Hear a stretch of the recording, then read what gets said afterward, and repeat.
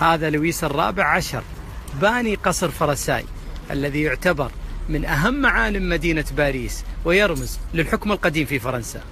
عمر هذا القصر 350 عام تقريبا سكنه عدة حكام في فرنسا. كان آخرهم لويس السادس عشر الذي يعدم مع زوجته بالمقصلة في ميدان الكونكورد. هذه أشهر قاعة في قصر فرساي قاعة المرايا.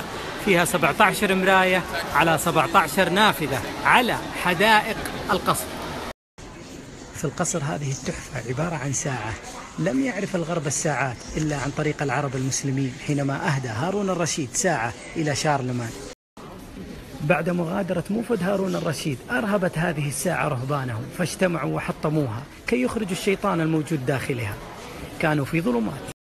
لو تلاحظون مكتوب لويس إكس في آي آي آي. هذه الأرقام الرومانية المستخدمه قديما. أما الأرقام اللي تحت هذه هي الأرقام اللي اخذوها عن العرب. جميع المجسمات اللي تظهر في الصورة من مجسمات واسترلاب وآلات رصد ما هي إلا اكتشافات عربية نسبوها إلى أنفسهم وما الأندلس من هنا ببعيد. هذه غرفة نوم لويس السادس عشر وزوجته ماري أنطوانيت كان يعيش في قمة البذخ بينما الشعب يرزح تحت وطأة الفقر والجوع. فوق هذا كله كان سلطانا ظالما غاشما كان عنده سجن يسمى الباستيل رمز للقهر والظلم كان يسجن فيه معارضيه. انتشر الفقر حتى وصل بهم الحال. لم يجدوا خبز يطعموا فيه أبنائهم. فتجمع نساء باريس وهاجموا قصر فرساي. مسيرة النساء مشهورة بالتاريخ الفرنسي. بعد أن أحكموا الحصار سألت ماري أنطوانيت زوجة لويس ماذا يريدون؟ فأجابها الحرس لم يجدوا خبز ليطعموا أبنائهم. فأجابت إجابة خلدها التاريخ إذا لم يجدوا الفقراء خبز ليأكلوه لماذا لا يأكلون الكعك؟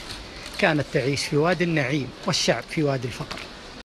وكما قيل الثورة عمياء تأكل الأخضر واليابس. انتهى المطاف بلويس السادس عشر وماري انطوانيت انقطعت رؤوسهم بالمقصلة في ساحة الكونكورد. هناك مثل فرنسي يقول إذا غضبت الفرنسية جميع الحيوانات تنفر من حولها. دليل على قوة المرأة الفرنسية وتذكير بمسيرة النساء.